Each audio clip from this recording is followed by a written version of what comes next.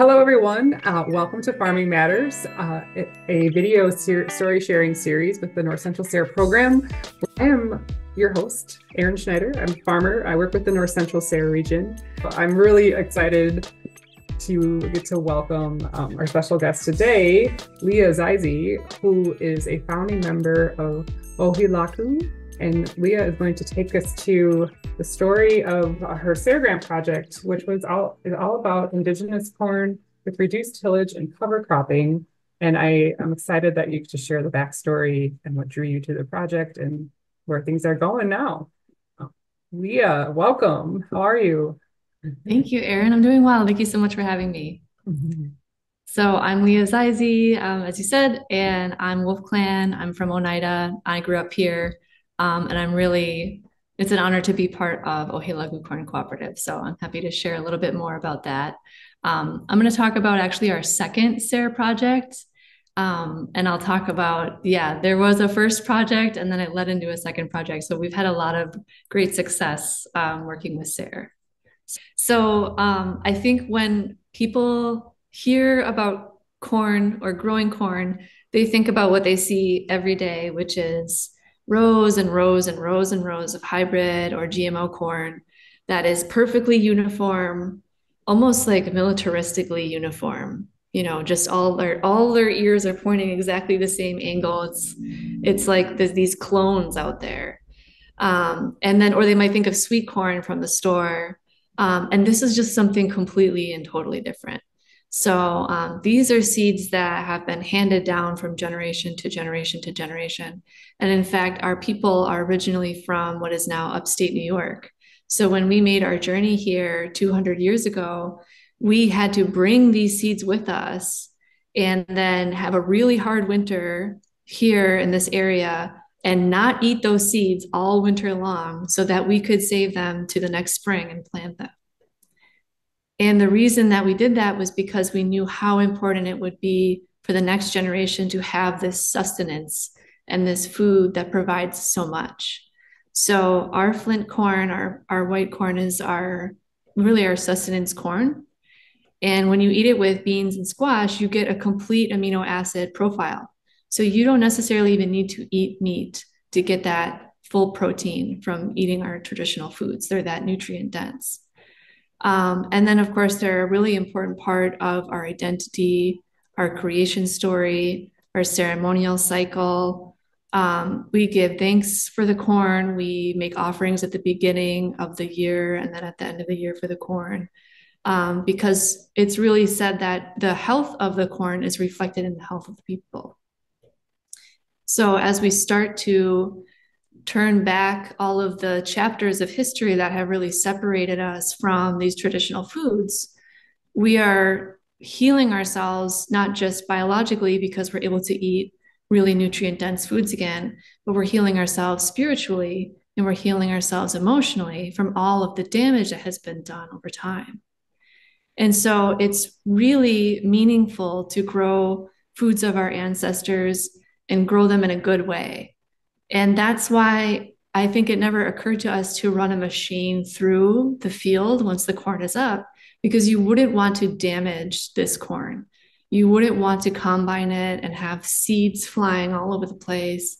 You wouldn't want to really, like, every kernel gets picked up from the floor when we're doing our work. Um, she's that important to us and that special to us.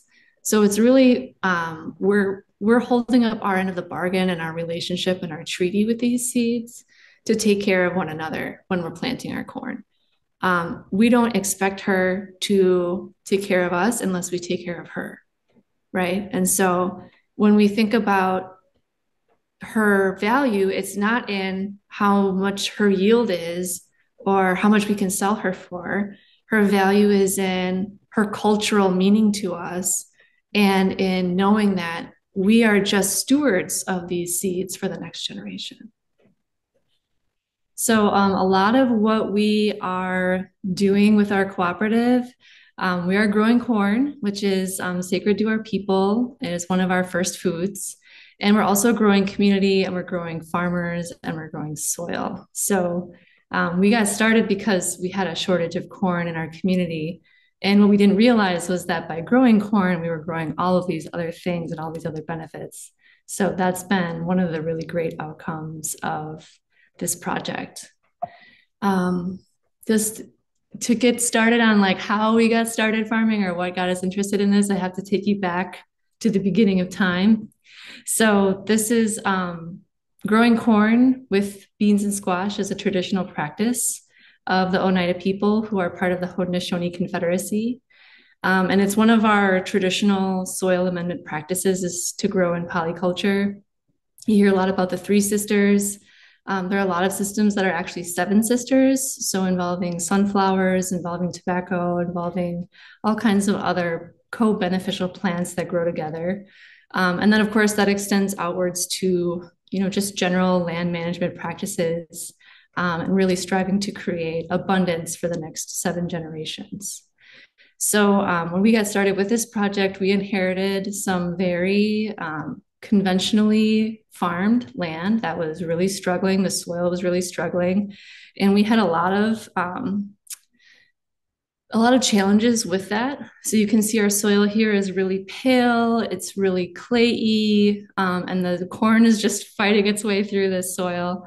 Um, the seeds that we grew, um, we didn't even have enough seeds when we got started because um, we were just background backyard farmers that started growing together in a cooperative the way our ancestors did, um, basically in a communal field. And so we had to make a big trade with our relatives out in Onondaga Nation wild rice for corn seeds so we could have enough to even get started our first year. Um, so we're really grateful to our relatives and our ancestors for carrying these seeds forward to us so that we can be the ones to steward them for the next generation. And a lot of what we're doing now is making sure that we're stewarding the soil properly too. So, um, of course, there's a lot of changes unfolding with the climate right now. Um, and with that, there's a lot of risk and uncertainty we started farming at a very rough time to start farming. If you're a beginning farmer right now, man, I feel you. So we had those big floods a few years ago that wiped out like 95% of our field. Um, and so we really started thinking, you know, we have this conventional farming method that the people in our group who know how to farm on a large scale, this is what they were taught and this is what they're carrying forward. But we know we have these other teachings and these other ways of going about things that regenerate the soil. So we really wanted to bring those forward with what we were doing. So when we got together as a cooperative, we decided we would hold those traditional values really close and try to carry that on to the next generation. Um, and so this is just a few pictures of throughout the year what our process looks like we harvest all of our corn by hand and then we pull the husks back and we braid the corn into long braids to dry it um, which is a huge labor of love. It takes us about a thousand hours to harvest an acre this way um, but it keeps us really connected and it keeps us really um, aware of what's going on in the soil what's going on in the community what's going on with the seeds and our kids and all of that. It's just a lot of time to be together and we also have been looking a lot at our traditional practices to bring those forward. So, um, on the right, you see our attempt to get this very low lying field out of the water. We got a hilling machine um, that makes these long rows, and that allows us to do the polyculture with the corn, beans, and squash, which were traditionally grown in a mound system. And this is actually very reminiscent of ancestral mound practices that you can find all over what is now Wisconsin, um, and all over the Northeast. These are some Menominee mounds, or the ancestor the ancestors of the Menominees, actually. Um, so if you're walking around the woods and you start seeing the earth doing these wavy things, that's that ancestral practice that's still here today. So we like to think that we're kind of walking with the ancestors when we do practices like this. Um, and then we intercede in between these with um, clover to help build the soil back up. We've also gotten into cover cropping, which of course has a million billion and one benefits. So um, that's been really fun for us to learn about that. Um, it kind of what it reminds me of with cover cropping is our traditional practice of moving our villages around our territory every 20 or so years to return back to the same place 100 years later when everything has been regenerated. And of course, we cannot pick up our whole reservation or even our whole cornfield and move it every 20 years, but we can rotate with cover crops in between, and we can put cover crops in between the rows to um, get some of those benefits. So that's what we have started doing. And this SARE project was all about what does that do for the soil and what does that do for the yields? And what is the impact on the quality of the corn that comes off the field? Because we're really looking for seed quality cobs to come off. And when our corn is like fully, fully, when she's loving it out there, she's like 18 inch row, like cobs, like eight rows, beautiful white corn. So we, we see right away that we're doing something good for the corn because she tells us right away. Um, this is the experiment that we did in partnership with UW Extension. Um, we had um, Daniel Hayden was the PhD student that was working with us, and Erin Silva at CIAS, um, Center for Integrated Agriculture Studies. Um, they helped us design and carry out this project. So we did intercropping with Dutch white, clover, plantain, chicory, and winter wheat. Um, you can see our seeding rate there. It's a little bit small. Sorry about that small font. Um, and then you can see the varieties that we use with those different cover crops. And then we did basically trials within the field where we did different applications of these cover crops. And then we looked at what happened to yield, what did the soil look like, and what did that do for um, weed suppression. And um, the interesting thing about all of this is that when we got started on this project, we first started with no-till, which was really, really hard for us because our corn has such a long season, um, and it's can be easy for a no-till cover to compete with what you're trying to plant. We had a hairy vetch situation that was out of control one year. So um, we have not gone to no-till because we think just our soil isn't ready for it. It's not repaired enough for it. And getting the timing right with our like 110 day corn is kind of hard.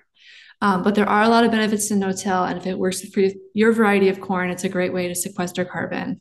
Um, it's just not working for us right now, and that was one of the outcomes of this project.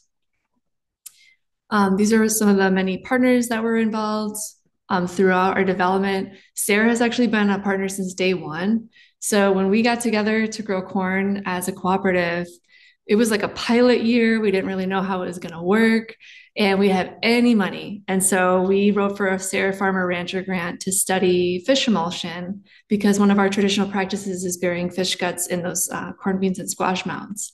And so we did a trial with that and we had really good results. And it really brought us together and it coalesced us into being a cooperative. So we started through a SARE grant, which is pretty cool. And then we got to come back and do another one talking about the cover crops and those benefits.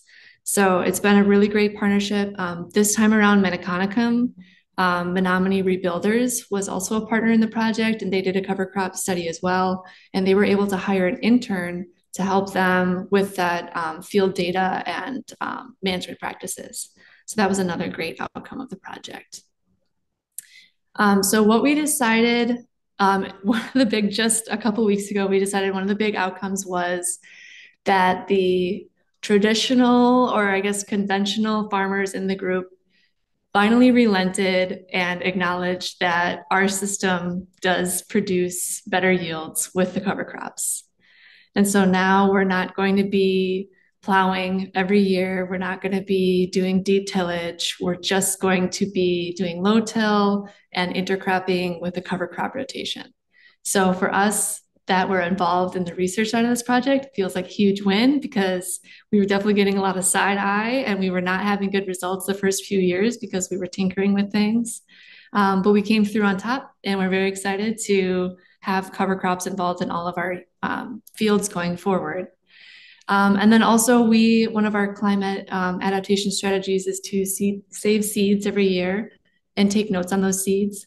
Um, and so this coming year, our notes will say that they were all grown with cover crops. So I'm excited to see that in our notes going forward. And then this picture in the middle is some of our other Haudenosaunee varieties, which are just absolutely beautiful. So I'm really looking forward to doing some more trials with different varieties of corn to see how those turn out too. So um, this was a really great uh, experience working with SARE. It really connected young people, old people, and everybody in between with these practices. Um, it gave us an opportunity to participate in science um, with university, and we had developed a really good working relationship with, with UW Extension um, and with Menīkānaehkem and with a lot of other folks that were just curious about what we were doing. Um, we had a couple of field days and we organized one of them during our recital of our great law in August of last year. And we had 30 people come out to the field so we could share our story with them. So it's been a really positive experience. Um, and I think if you're a farmer or a rancher and you're thinking about if you want to go after a SARE grant or not, I highly recommend you do because they're really easy to work with. It's probably the easiest grant I've ever worked on. Um, and there's so much support and so much care. So I say go for it. And that's all I have. Y'all go. Thank you for sharing. Um, there's like a lot of layers in there, even though it's not um, one of the questions I have, you know, that come up for me is, okay, so you have uh, navigating all you know, lots of different partners may have different structures and ways of organizing and doing things like, you know, how, I mean, you're able to come together from the shared project, yes, but how did you kind of navigate those maybe like were they were you all aligned from the get-go or were there different things you had to kind of overcome in and working together and figuring out a good good way to do that so one of the things i really like about the farmer rancher grant is the funds come right to the farmer so mm-hmm. that we can make decisions game time decisions that need to be made um, and get the funds out to like buy soil amendments or buy cover crop seed or you know whatever needs to be done that's part of the project Whereas if the money had gone to the university, we had to go through a procurement process. Mm-hmm. They would have taken a big indirect cost cut right off the top, and the funds wouldn't have necessarily been applied all to the project like they were in our case. Um, so I felt like the relationship and communication that we had between the university and Ohe·láku from the beginning was really good because we are both on the same page that Ohe·láku was the primary applicant and UW Extension was supporting us. Um, and then we were able to manage funds and get funds out to Menīkānaehkem also, or just like buy fertilizer and have it delivered directly to their farm for them. So I think that was one of the things that administratively was pretty easy. We were all on the same page about how to do that. Um, and then when it came time to harvest, you know, we just had UW Extension folks come up and we harvested with them so they could kind of talk to us about the different plots as we were going through the field. We could kind of date them and label them. They brought all the corn back to um, UW to put in their drying room and dry them down and weigh them. And then they delivered back fresh husked, beautiful corn for us. So that was a win win for sure. Because um, that cut down on the amount of labor that we have to do at harvest, which is significant. Um, other than that, I felt like it was very, very smooth. Um, there was a lot of problem solving that had to be done at the beginning about how much cover crop of what kind to buy and how we're going to set these trials up. Um, but everybody's opinion was really welcome in that space. And so it really felt like a positive collaboration. When you are um, contemplating taking doing something different in terms of an experiment on the farm using a corn variety or any any seed variety that is somewhat special and limited in quantity how do you balance mm-hmm. um, the, the excitement and interest in in experimentation with the risk of the seed or losing the seed or, or the project not working out? That's a great question. So, hmm. uh, when we go through and hand harvest our corn, we separate our corn into seed quality corn and we call it soup quality corn, it goes on the other side. So, when we did our first year of experimentation, we didn't use the seed quality corn, we used the soup quality corn so that it wouldn't diminish our limited seed stocks. Um, then, when we got up and we got it working okay, then we started using the seed quality corn. Um, and then we also hedged our bets. We had the research field, which was an acre and a half. And then we also had the conventional field, which is about three or four acres. So we knew even if we had total failure, which we did one year of this project have total failure. And there was a lot of reasons for that. We had poor recommendations from our agronomist. The timing was just really bad. It was a really weird year around planting time. And so all the corn grew up and it looked like baby corn. It was so mm. sad out there. So we lost the whole field that year. Mm. Um, but we still had the conventional field where, you know, they plowed it up, they put down all the fertilizer, mm. they did everything their conventional way. And so we still had that corn to harvest. What would be kind of words of wisdom when you kind of take on that transitional space of like you, you coming into this land that in the soil that needs some TLC and how to how to sort of sequence that out. I think going into it with a mindset that it is an experiment. So mm. you are going to learn something, whether or not you get a great yield that year or not, you will learn something. Um, so we learned that you should double check the math of your agronomist one year. And that's a been valuable lesson. Now we'll never make that mistake again.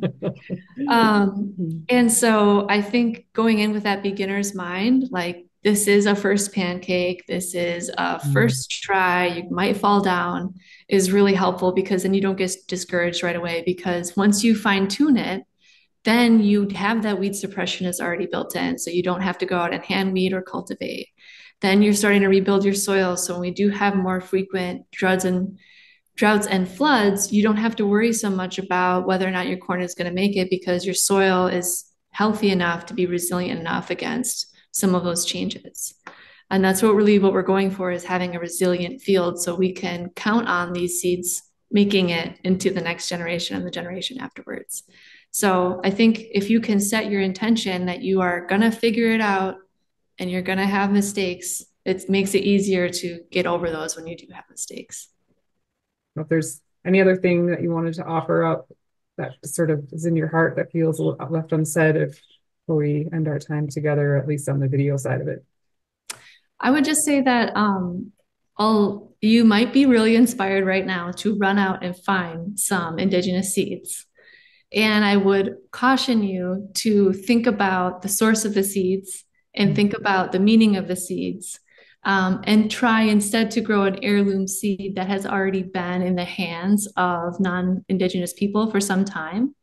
Um, because of the sacred nature of our seeds, and because of the situation that we're in and rebuilding our communities, we are trying to protect the seeds as much as possible right now. Um, but we really encourage you to have a relationship with heirloom seeds and corn. Um, but maybe just choose varieties that aren't identified as indigenous. Um, it's a bit taboo to sell indigenous seeds. So if you see um, seed company that's selling tribal seeds, just be a little bit wary of that and think about where those seeds might have come from and where they might belong to be right now. Um, and please just you know be mindful of the seeds and varieties that you choose to grow. Thank you. Mm-hmm. You know, corn has something going on. It's like bringing lots of things together right now. She's got plans, man. Yeah, seriously, seriously. I bow to that and to you and to Marie. Yeah. Thank you. Thank, Thank you both. This has been a pleasure. Oh, yeah, always. Thank you again. Take care.